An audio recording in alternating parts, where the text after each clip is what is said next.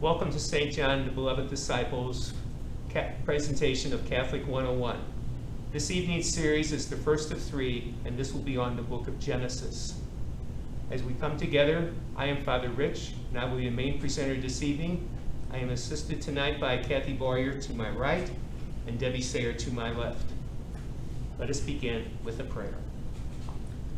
Our prayer is from the book to the, uh, from St. Paul to the Romans. How deep are the riches and the wisdom and the knowledge of God? How inscrutable his judgments, how unsearchable his ways. For who has known the mind of the Lord?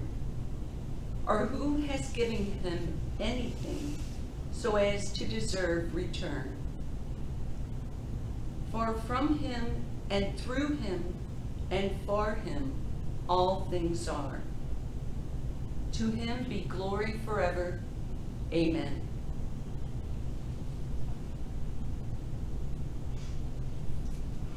Tonight is our first session. And tonight we begin with the first book of the Bible, the book of Genesis. This evening, our focus will be on the first 11 chapters of the book of Genesis, which cover the time from creation through the time of the Tower of Babel, prior to the patriarch Abraham. Subsequent sessions, the following two weeks, will pick up at that point and cover the remaining patriarchs of the book of Genesis. Genesis is the first book of the Bible, and it deals with first things, creation. And then it progresses the primeval history of the human race from that time. The question always comes up is, who wrote the book of Genesis? In ancient times, it was thought to be written by Moses. But modern scholarship says that's not very possible, given some of the information in the Pentateuch, of which Moses was thought to be the author, happened after his death. Scholarship today indicates that there was a number of authors involved in the writing of the book of Genesis and the other books of the Pentateuch. The modern theory is that of there's four distinct sources. They're called the J, E, P, and D sources. The J is called the Yahwist source, and that is a source that is associated with the southern kingdom of the Holy Land, called Judea. This is where King David and King Solomon would have reigned, and it dates from about their time, the 10th century before Jesus Christ. A second source is that of the Elohist tradition, and that is centered in the northern part of the Holy Land. And this is dated from about the 9th century before Jesus Christ.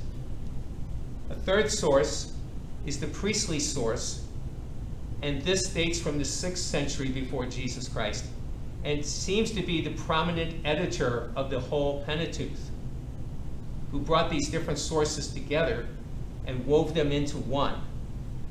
And the final source is called the De- D or Deuteronomist, and this is primarily found in the book of Deuteronomy. Another characteristic of the book of Genesis is an emphasis upon genealogies, a listing of the ancestors, those early humans from generation to generation. This is highlighted by giving emphasis to certain of them, such as Adam and Eve, Cain and Abel, later Noah, and finally moving up toward Abraham. In each case, there's usually 10 generations spacing them apart. And the age of these early humans is incredibly long. We'll talk more about that later. And there's also an emphasis upon laws and rituals. These will be things we notice as we go through, starting tonight, the book of Genesis, and we'll see more and more in the coming lectures as well. So we begin with creation.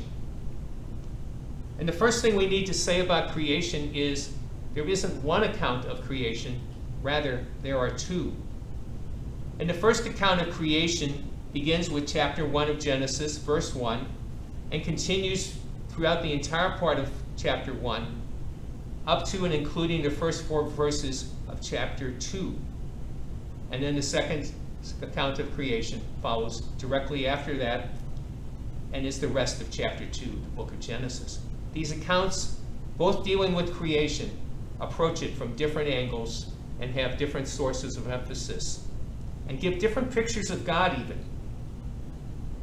One thing to keep in mind in the midst of all this is God is involved in the writing of the book of Genesis. God worked in conjunction with the human authors, and the human authors definitely gave a flavor to it from their per per personal viewpoints. But God is there to guarantee the truth of everything written.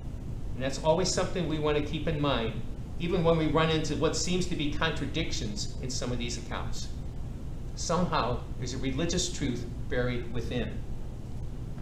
The other thing is to keep in mind is Genesis is a religious book, first and foremost.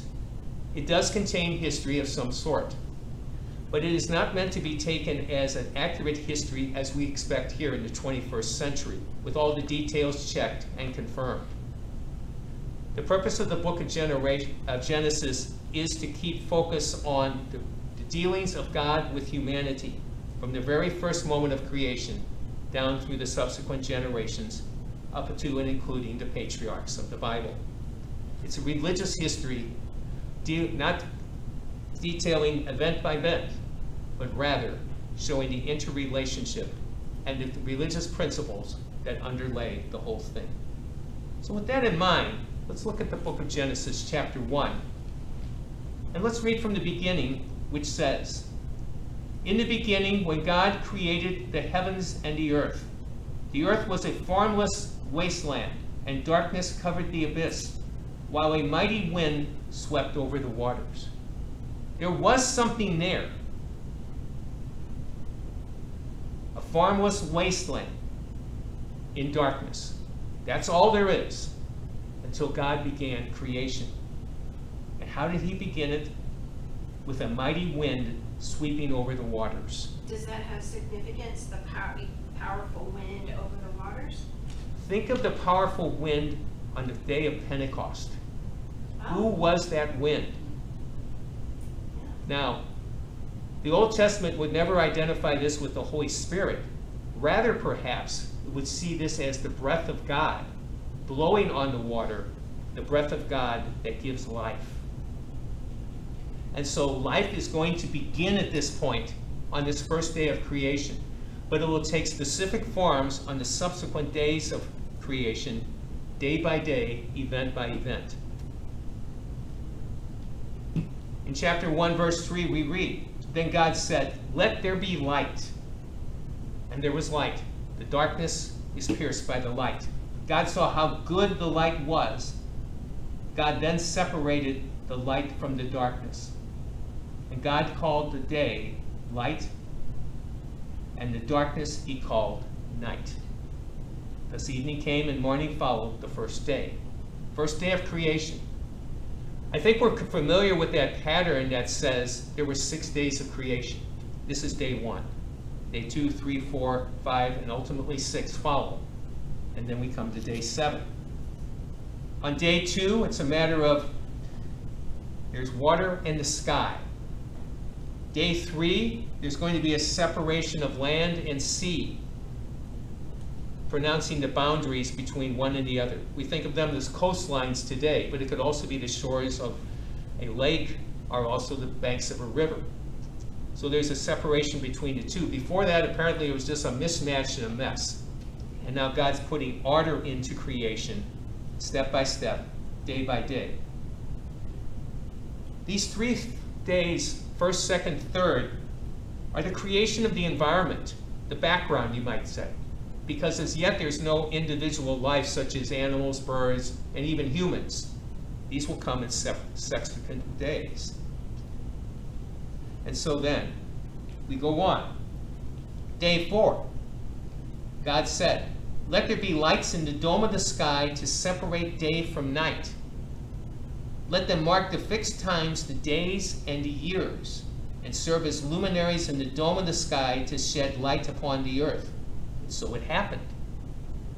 God made the two great lights, the greater one to govern the day, the sun, and the lesser one to govern the night, the moon.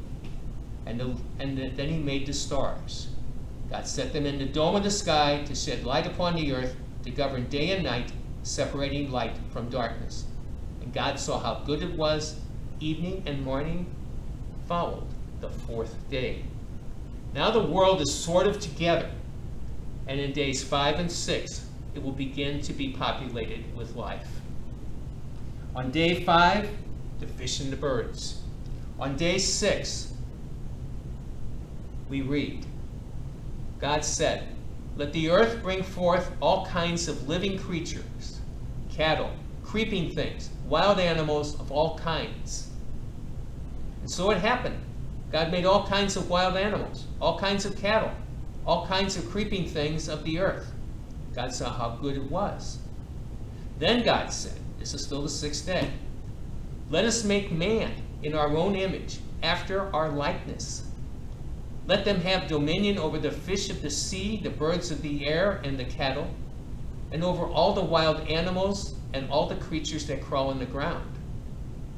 God created man in his image, and in the divine image he created him. Male and female, he created them. And that's something that might be surprising because we're used to the story of Eve being formed out of Adam's rib. Yes, that story is in the Bible, but it's in the second account of creation. The first account of creation is this this is the direct creation of God right from the beginning. So male and female both exist on that sixth day of creation, created by God as part of his first effort and work. God blessed them and saying, Be fertile and multiply, fill the earth and subdue it, have dominion over the fish of the sea, the birds of the air, and all living things that move on the earth. God also said, See, I give you every seed bearing plant all over the earth, and every tree that has seed bearing fruit on it to be your food. And to all the animals of the land, all the birds of the air, and all the living creatures that crawl on the ground. I give all the green plants for food. And so it happened. God looked at everything he had made and found it very good. Evening came and morning followed the sixth day. Two things to notice in that account of the sixth day, and this is right at the end of chapter 1, and that is this. First, God gave the humans plants, fruits to eat, not meat there's nothing said about meat at this time. They're going to be vegetarians, at least for a while. Later on, meat will enter into the diet by divine command.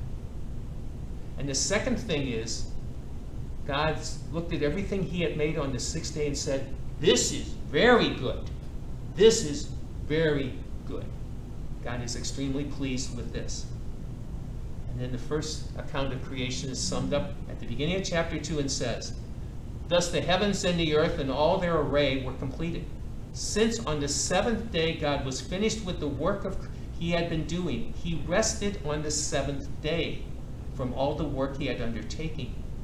So God blessed the seventh day and made it holy because on it he rested from all the work he had done in creation. Such is the story of the of the heavens and the earth at their creation. End of the count, the first account of creation. Study says this account can be traced to the priestly tradition. And a real clue of that comes in in the six days of creation and the fact that God rested on the seventh day, which is the cycle of work and rest that was expected of the Jewish people working the first six days of the week, Monday through Sat Friday, excuse me, Sunday through Sat Sunday through Friday, resting on the Sabbath, the seventh day, the day of rest. And so this is a way of the priestly teachers, as they form this account, to say, this is something that has its roots even so far back as creation itself. Therefore, we must practice it faithfully and forever. These are things there. And there's one other thing to notice about the first account of creation, and that is God is doing this hands off. He says simply, let there be, and by his word, things happen. So this is an all-powerful God, transcended, far above human life, looking down from above and saying is, this is what I want, bingo, make it happen. He's making these things out of nothing. And the power of his word makes life and the fullness of creation come about. So there's a, there's a whole part here that brings that out very clear.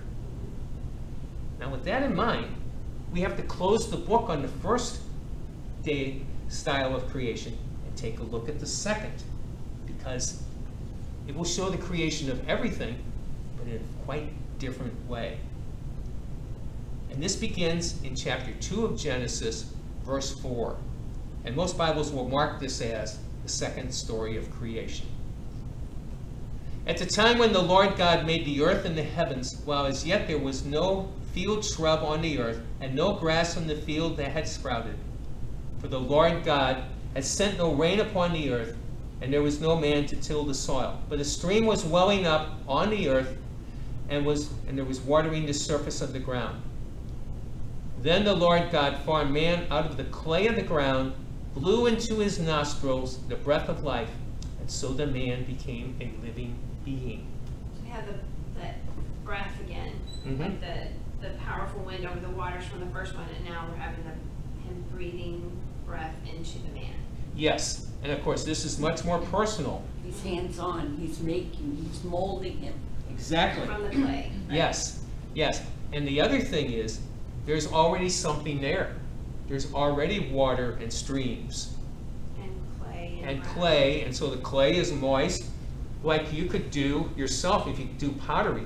You pick up the clay, mold, shape it, and form it that way, and this is what God's done. So this is a very hands-on God, literally. Mhm. He's involved with the creation with his own fingers, shaping, farming, molding this first man. And then he takes him, like one would do artificial respiration, blows life into him, and the man comes alive. Now that he has a living man, but it's still a desolate landscape, he's got more work to do. And so it goes on. Then the Lord God planted a garden in Eden, in the east, and he placed the man whom he had formed. Out of the ground the Lord God made various trees grow that were delightful to look at and good for food, with the tree of life in the middle of the garden, and the tree of knowledge of good and evil. Those trees will become pretty important later, both of them. And these are the only two trees that are named in the Garden of Eden. The rest, they're just trees, food for the humans there, right? Except at this point, there is only one human, the first man. So we're at that point. Now that God has brought the man alive, he sees he's by himself and he says, well, he needs a companion. Does he make the woman yet? Not yet. First, he's going to try something else. Down at verse 18 of chapter 2, it says, The Lord God said, It is not good for the man to be alone. I will make a suitable partner for him. So the Lord God formed out of the ground, here again, the hands-on approach, get the clay and start shaping, molding, and making things, various wild animals and various birds of the air, and brought them to the man to see what he would name them. Whatever the man called each of them would be its name. The man gave names to all the cattle, all the birds of the air, and all the wild animals, but none proved to be the suitable partner for man. It's like he's got a lot of pets, but he doesn't have a soulmate. So at verse 21, God tries again. He says, it says, The Lord God cast a deep sleep on the man, and while he was asleep, he took out one of his ribs, closed up the place with flesh. The Lord then built up into a woman the rib he had taken from the man. And when he brought her to the man, the man said, This one at last is bone of my bones and flesh of my flesh. This one shall be called woman, for out of her man this one has been taken. That is why a man leaves his father and mother and clings to his wife, and the two of them become one body, because originally they came from one body. The man and his wife were both naked, and they felt no shame. End of the stories of creation.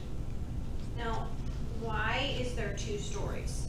There's two different traditions. Okay. And rather than one being dropped, it seems that both were retained and utilized. So which one was written first? The Yahwist, the second one? To say that it was written first, I'd rather say it was put together first. Okay. Because chances are it wasn't written down in the beginning. It would have been passed on by word of mouth, generation to generation. Because writing materials would have been scarce, and the ability of people to read and write would have been rare. Okay. But by passing it down, pretty much sitting around the campfire at night, telling the tales of the creation, would have indelibly put it into people's memories. They would have cherished the story, preserved it, and it was passed down until finally it was written and it edited into the book of Genesis. So it was definitely the second one. But you see again, there's a very different opinion of God in this one. Because this is a God who is sort of kind of like us, but much greater, of course. But he's there molding and forming things out of the ground. Whereas in the first account, God says, let there be, and there is. Mhm. Creation from nothing. But here's creation using what's there and forming and giving it life. So there's two different approaches. I had a thought, Father, that I was gonna ask. With the first story, God created everything before he created man. Right. Second story, he created man first and then created everything else. So is that, what's the significance of those, or is there a significance, or like, is it the tradition that it came from? That, that the, the man was first and then the animals came and then the woman came? I- Is it because, I think I read somewhere that it was like a patriarch, that it may have come from a patriarchic background where the, the man is, the but I don't know. Well, there's two ways to, Okay. there's two ways to look at this. Mhm. And each, and each of those is represented in two accounts. The one is, in the first account, man is the pinnacle, the summit of creation, the best to last. Yeah, that was very good. Mhm, Yeah, Just and, and there's that right, statement, he's, Right. this is very Very good. good. In other words, God's working up to this, step by step, To the big finish. to the, you know, big finish, the finale. Yeah, Mm. and- yeah. In the second story, God starts with the man and then looks at what man needs and provides it step by step by step until he finally finds the proper helpmate. Man is happy at this point, content, and God says, Good job. You can do, yeah. Mhm. Okay. So it's a different orientation. Right. Hmm. But in the end, the message is the same. Same. Mhm. The human being is the peak of creation. This is what makes the whole thing go and flow. Now, everything's beautiful at this point, but not for long. We go into chapter 3. And this is going to deal with the calamity in the Garden of Eden. So we introduce another character here. Now, the serpent was the most cunning of all the animals that the Lord God had made. The serpent asked the woman, Did God really tell you not to eat of any of the trees in the garden? The woman answered the serpent, We may eat of the fruit of the trees in the garden. It is only about the fruit of the tree in the middle of the garden that God said, You shall not eat it or even touch it, lest you die. The serpent said, You certainly will not die. No, God knows well that the moment you eat it, your eyes will be open, and you will be like God, who knows what is good and what is bad. Now, is the serpent lying? No, not really, because that's exactly what happened. Mhm. By the way, the serpent in this account is not necessarily the devil who's trying to cause trouble, but he's more of a questioner who's challenging, at this point, the woman, and eventually, of course, the man would be likewise challenging, and they basically succumb and bite into it, and bam. But see, the temptation was here is to go beyond our human state and to be like God. And that's going to be the problem. They understood death as something they didn't want to avoid, but they didn't know what death was. But the thing here is the temptation is to try to be just like God. And you know what? That's a universal temptation, and don't we try it ourselves? Sure. Mhm. Well, then he keeps telling us we need to be like him, but not, Not in that not way. that way. Yeah, we are made in his image, but not with Right, equality. yeah, In other words, we're reflections of God, we aren't God. not for the power Mhm. of it, Mhm. yes. So the fruit on the tree, of course, is good, it's beautiful, and it will provide wisdom. But maybe more than you can handle. And that, that's the thing. So they eat the fruit. And as it says, the eyes of both of them were open, and they realized that they were naked. They had been naked for quite a while. And apparently it was That's just the way it was. they didn't, didn't, no question about it. But now it's a problem. And so they sewed together fig leaves and made loincloths for themselves. They felt the need to cover up. But it's covering up in more than just that way of clothing. Because prior to this, they were on really close with God. God would come down in the evening, twilight, walk around with them, have a chat, you know, how'd it go today, you know, just chit chat. And they're very comfortable doing this. Naked, no problem.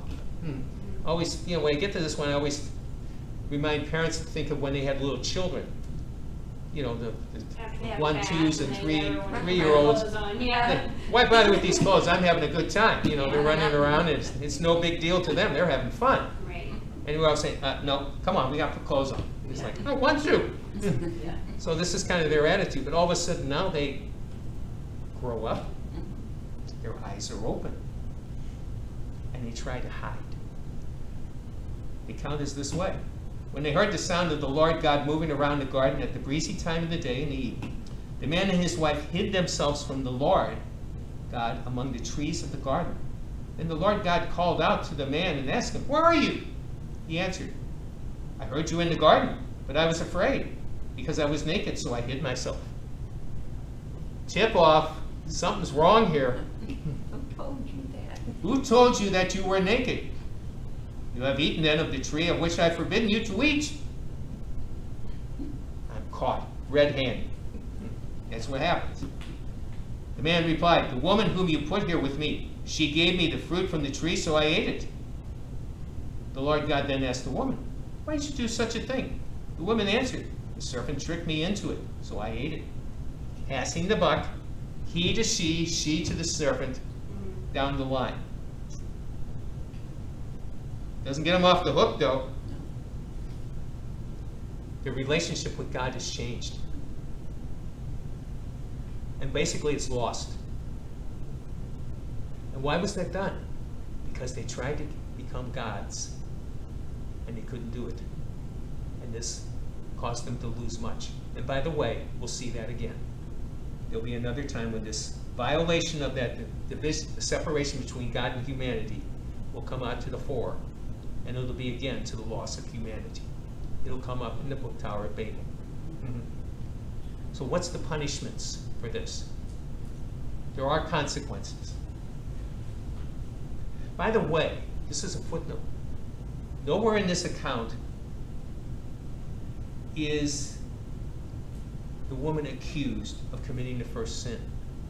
They did it together. This was joint responsibility. They both were involved. And so the punishments for the violation will affect both, each in their distinct ways. And when you listen to these punishments, you have to understand that today this is a normal part of human existence. But prior to this, it was not. And this was something lost because of the loss of being in the Garden of Eden. And so the Bible here is explaining how come this stuff has happened.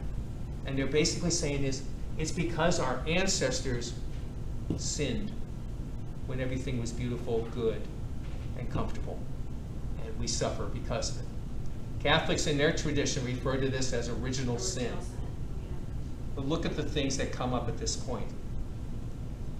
These punishments, first, are men and women attracted to each other, sometimes to their grief.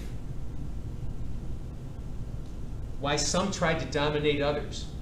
Instead of a spirit of harmony and mutual respect and equality, now there's boss and slave are dominant and be oppressed. Why there's a need to wear clothes, whereas before there was no such need. Why is childbirth painful? Why is work difficult? And again, think of people who are farmers who are working in the fields. No power equipment back then. If the ground has to be hoed, you're going to have a busy day. If harvesting comes, it's by hand. Tough work. Why the snake crawls on the ground? Because prior to that, apparently that wasn't the case. Think about that. And why humans die? Because that was part of this. You will know the difference between good and evil, and the consequence of eating it is death. And so humans, when they die, will be returned to the earth from which they were originally made in this account. Ashes to ashes, dust to dust. God punishes the people for their sins, but God does not abandon them. For instance, they had loincloths made out of fig leaves. God now provides them with clothing so that their shame may be covered. God provides balance even to their changed lives. But they are lost from the Garden of Eden, and they have to leave lest they eat the tree of life. That's why they had to go. They can't go back.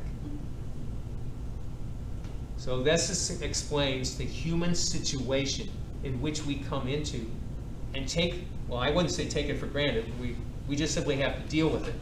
There's nothing else that can be said and done. It leads us to the fourth one, fourth chapter. And this involves Cain and Abel. And we know the outcome of this story again, too. Mm-hmm. It's going to have a bad ending. So now that they're out of the garden, the man had relations with his wife Eve, and she conceived and bore Cain, saying, I have produced a man with the help of the Lord. Next she, next, she bore his brother Abel. And Abel became a keeper of the flocks, while Cain a tiller of the soil. So you got the herdsmen versus the farmers, which is the classic dispute in ancient world, because they're both going to be involved on the land each with separate purposes and separate needs from it. And sometimes this is going to result in conflict situations. And a lot of times that's still true today. It even happened in the Americas, you know, with those who were trying to plant crops and those who were herding cattle. So it's, it's a classic, you know, tension there. So we have this incident then where each Cain and Abel offer a sacrifice to God. And for reasons that aren't explained, Abel's sacrifice is accepted, whereas Cain's is not. There's never, there's not an explanation going on here. There's nothing to say, why is this, why is that? Was Cain this or that? It's all kind of like saying, we're trying to figure it out. But see, that's kind of a pre, pre uh, of later when the elder son, you would expect to be the one who inherits, keeps getting set aside by the younger son. It happens again and again and again. God always has a different twist on the plan than when we expect. so Cain is frustrated by this, and he takes out his wrath on Abel. Abel is killed. And then we get into that whole account here. It starts at chapter 4, verse 8. Cain said to his brother Abel, Let us go out in the field. And when they were in the field, Cain attacked his brother Abel and killed him. Then the Lord asked Cain, Where is your brother Abel? He answered, I do not know. Am I my brother's keeper? The Lord said, What have you done? Listen, your brother's blood cries out to me from the soil. Therefore you shall be banned from the soil that opened its mouth to receive your brother's blood from your hand. If you till the soil, it shall no longer give its produce. You shall become a restless wanderer on the earth. Cain said to the Lord, My punishment is too great to bear. Since you have now banished me from the soil, and I must avoid your presence and become a restless wanderer on the earth, anyone may kill me at sight. Not so, the Lord said to him. If anyone kills Cain, Cain shall be avenged sevenfold. So the Lord put a mark on Cain, lest anyone should kill him on sight. Cain then left the Lord's presence and settled in the land of Nod, east of Eden. So he, he can't grow anything, Mm-hmm. so how's he expected to eat?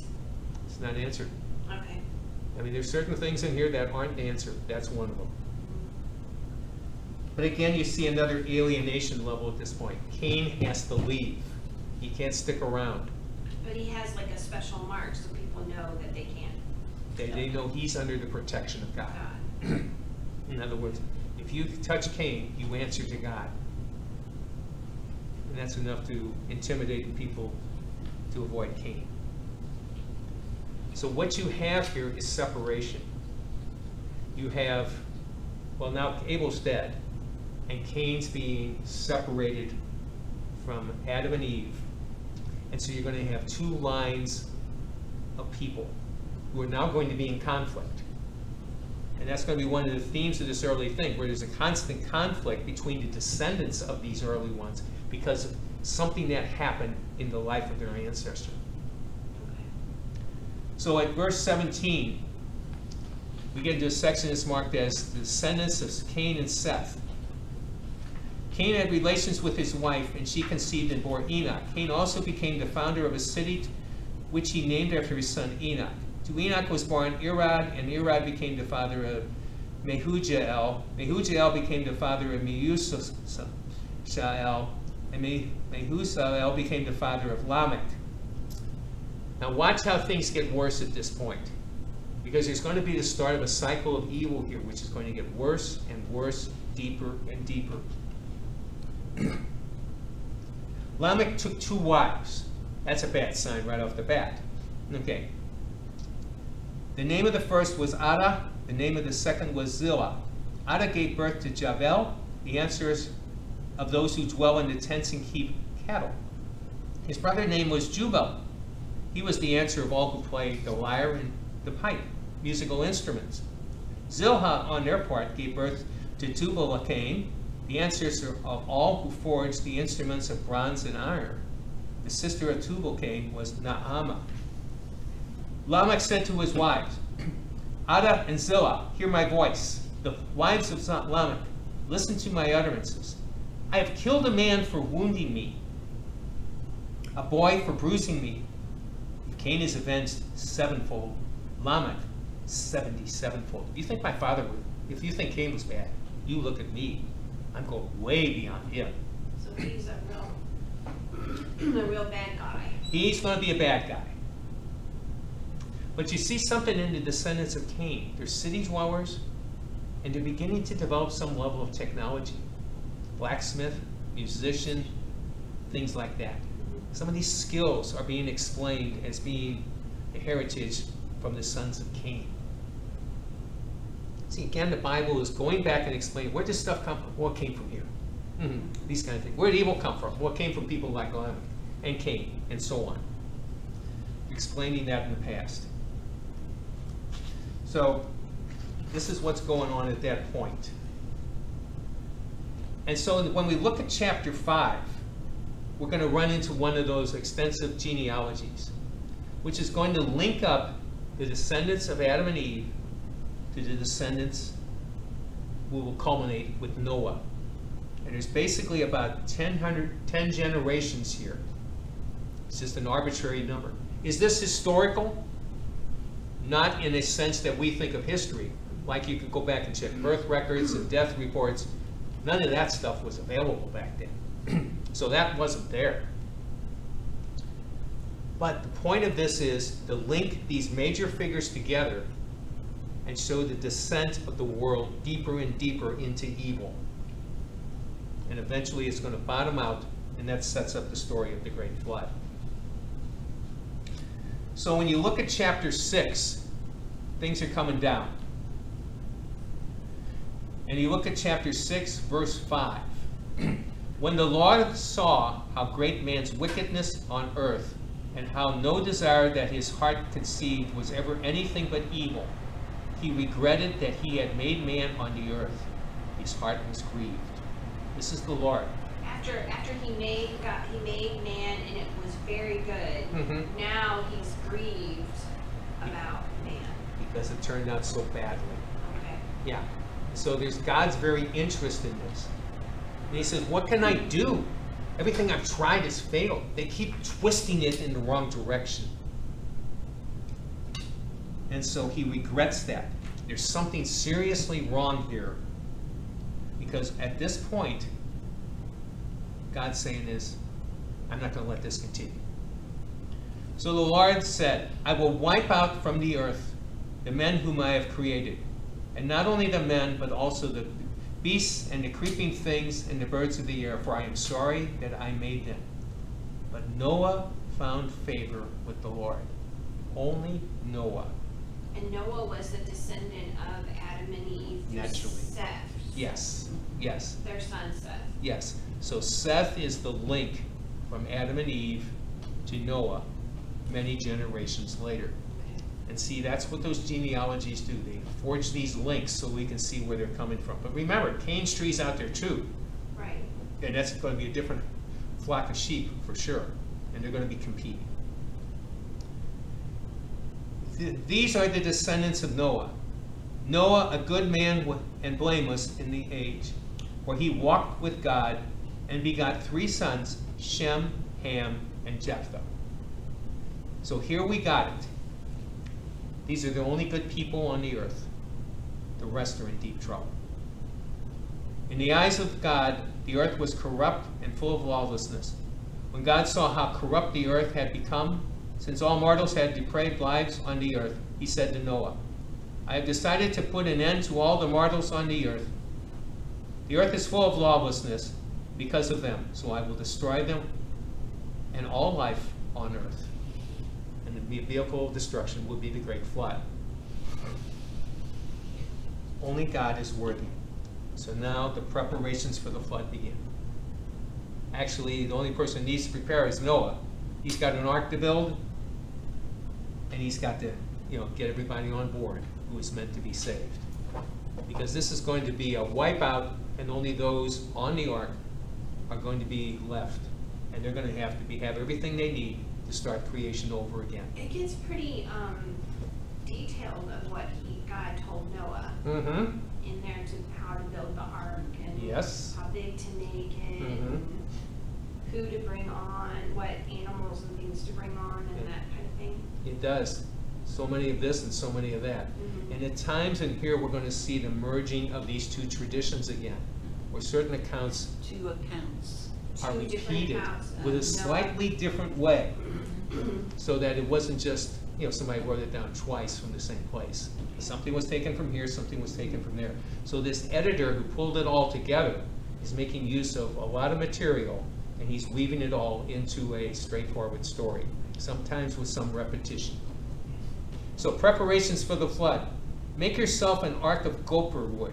Put various compartments in it and cover it inside and out with pitch to make it watertight.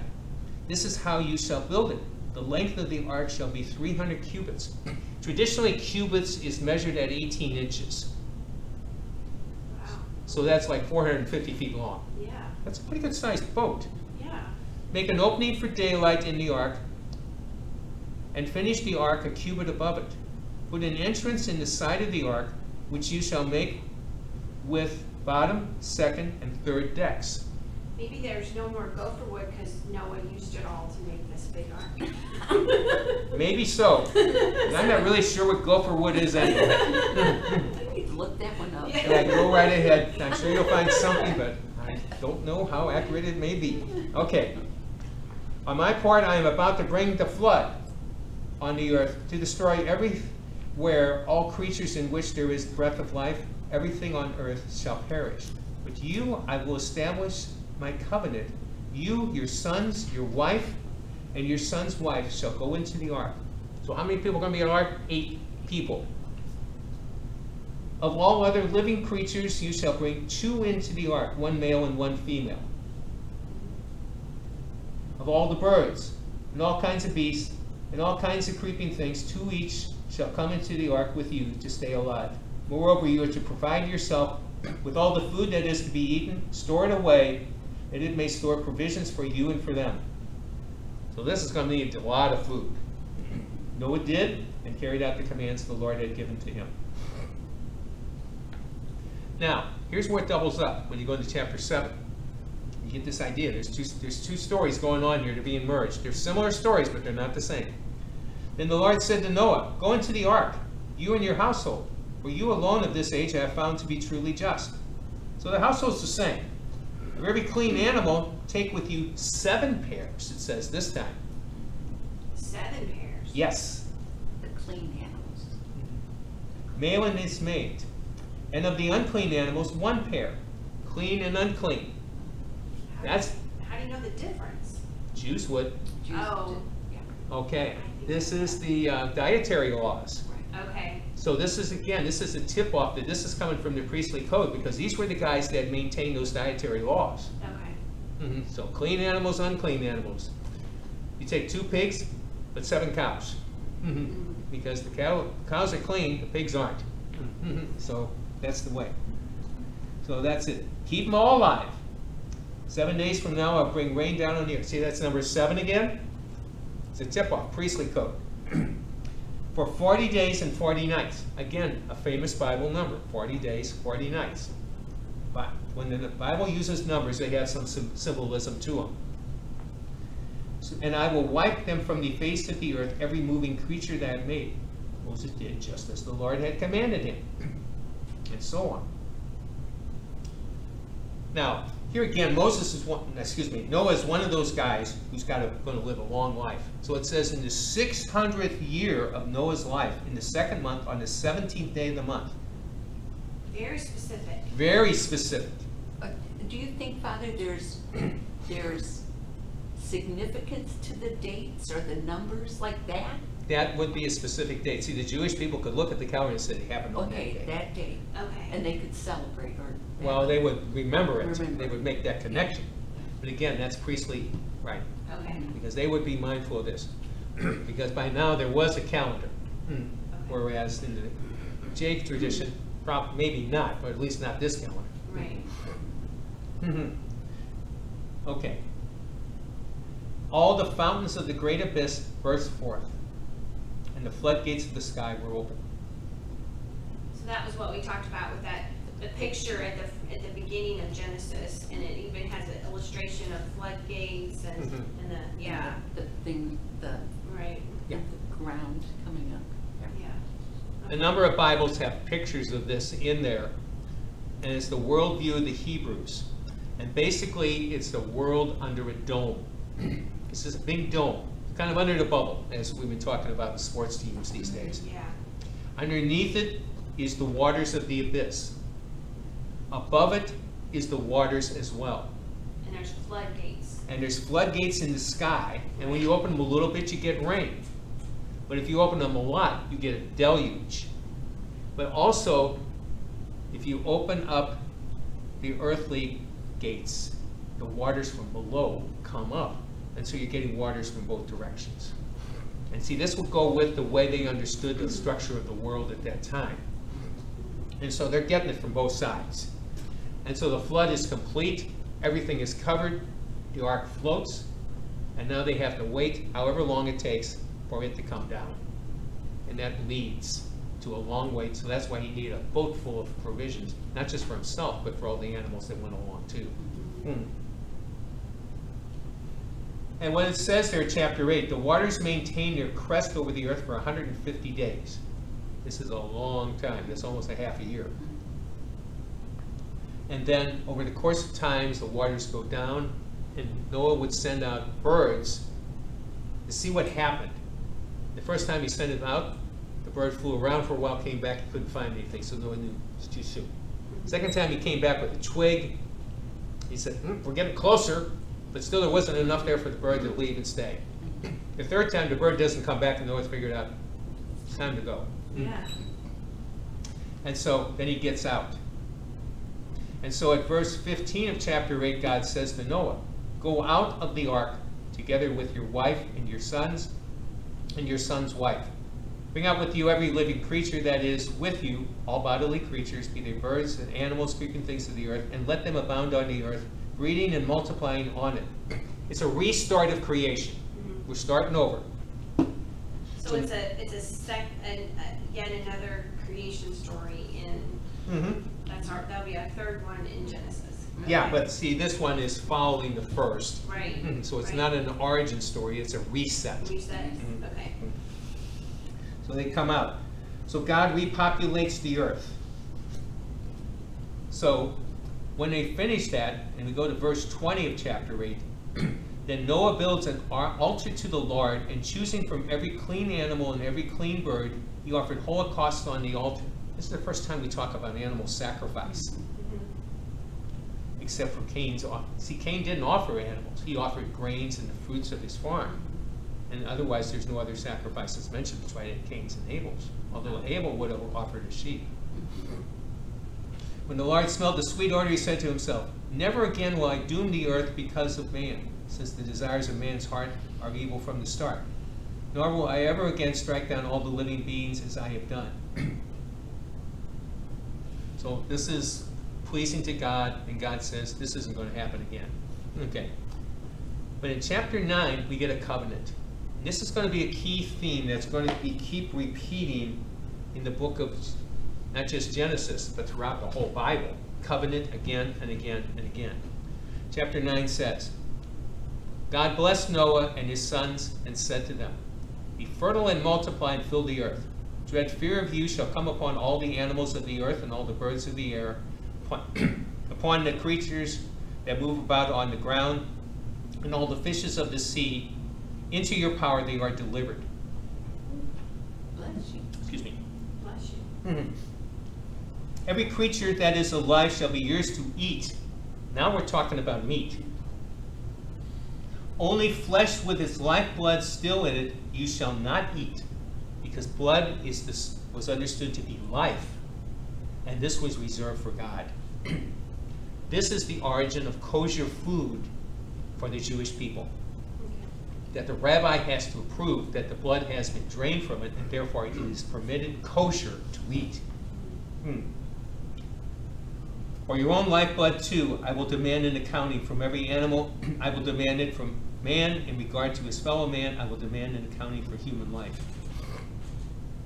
If anyone sheds the blood of man, by man shall his blood be shed. Eye for an eye, tooth for a tooth, life for life. For in the image of God, God had, man has been made. In other words, man is made in the image of God. He is to be respected and treated thusly.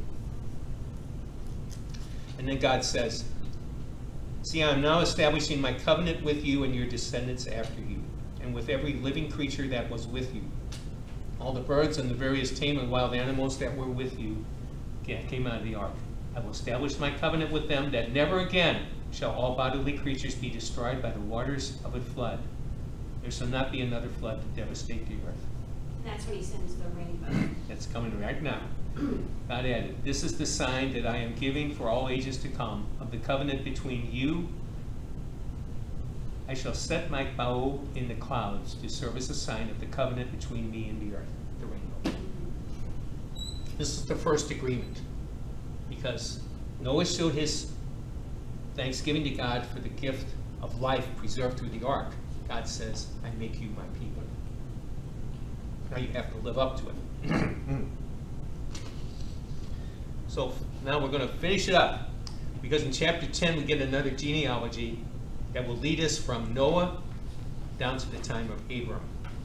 And that's where the age of the patriarchs begins. That's there again, it's another 10, 10 generation thing.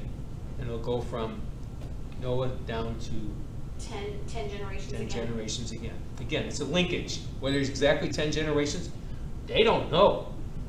Because this is being written long after the events occurred. But they're making sure everything's connected and tied together. But 10's a good number. Hmm.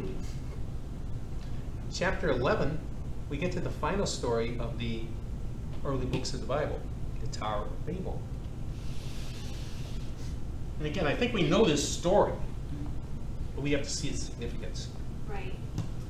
The Tower of Babel. The whole world spoke the same language, using the same words. While men were migrating in the east, they came upon a valley in the land of Shinar and settled there. They said to one another, Come, let us mold bricks and harden them with fire. Okay, more technology. They know how to build things now.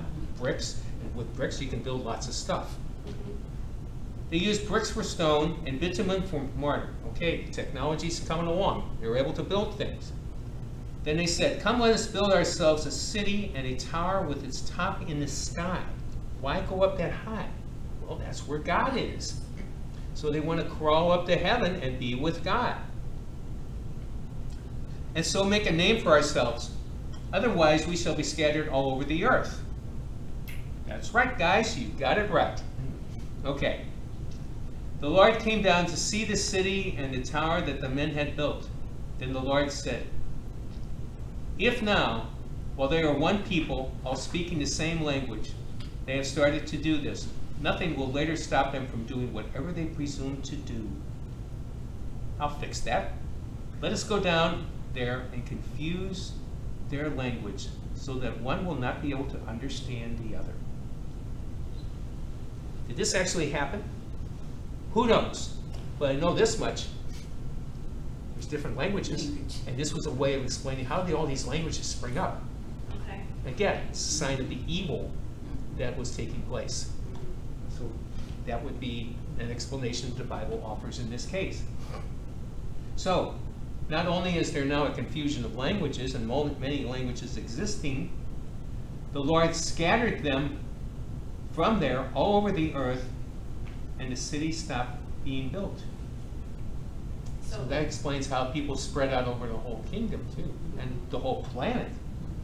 See, the Bible is answering these fundamental questions in a particular way, is as an effect of the evil of humanity caused them to be scattered. And now they're going to be competing with each other. And it pretty much explains how did everything end up the way it is today?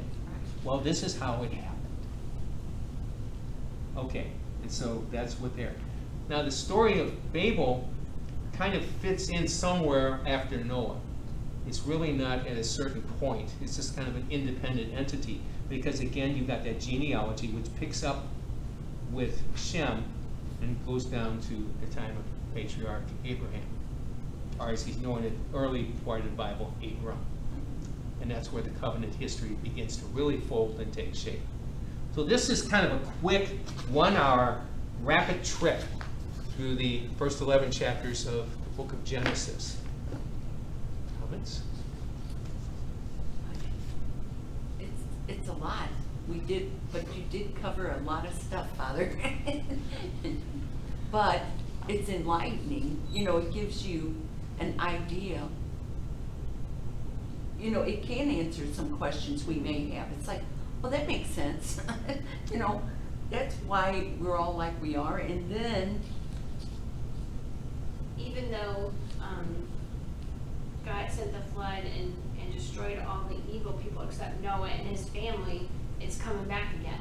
Yes. Well, that, that started with Ham disrespecting his father. Right. And which so it started right away. Right there. And actually, Mhm, Yeah, and it would have happened inevitably because there is this proclivity to evil as a result of what happened with Adam and Eve in the garden. Okay. right. Part that original sin. Original sin, yeah. In other words, there is this tendency to push the edge. Because again, you see that people keep trying to get up to be with God. And God keeps slapping them down and saying, you're not getting up here. I And then I had a note, I had a note about Babel or Babylon, Yeah, Mhm. yeah, that's kingdom of the east. right? And again, that reflects the priestly code because that's where the priestly code probably took its roots during the exile in Babylon during the sixth century BC. And so they would have seen this. And there's some thought that the Hanging Gardens of Babylon, which was one of those great wonders of the ancient road, world, could have been a kind of a model for the Garden of Eden. When they're explaining what kind of garden was this, well, it was something like that. Something awesome, and spectacular, and perfectly peaceful. Hmm. Okay. So there's a lot of fringe things there. So we've set the stage for Abraham, and mm-hmm. when we come back next week at the same time, next Tuesday, we'll pick it up at that point. So having come this far, it's time to say goodnight, and we'll close with our ending prayer. In the name of the Father, and the Son, and the Holy Spirit, amen. Amen. Blessed be God. Blessed be his holy name. Blessed be Jesus Christ, true God and true man. Blessed be the name of Jesus. Blessed be his most sacred heart. Blessed be his most precious blood. Blessed be Jesus in the most holy sacrament of the altar. Blessed be the Holy Spirit, the consoler. Blessed be the great Mother of God, Mary, most holy. Blessed be her holy and immaculate conception. Blessed be her glorious assumption. Blessed be the name of Mary, Virgin and Mother. Blessed be Saint Joseph, her most chaste spouse. Blessed be God and his angels and in his saints. Amen. Thank you, Father. Thank you.